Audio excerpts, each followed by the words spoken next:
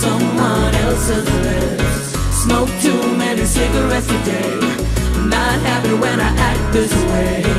That girl drunk by six, kissing some kind stranger's lips.